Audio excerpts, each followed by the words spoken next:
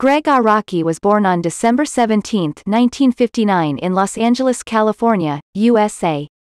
He is a director and producer, known for Mysterious Skin, 2004, White Bird in a Blizzard, 2014, and The Doom Generation, 1995.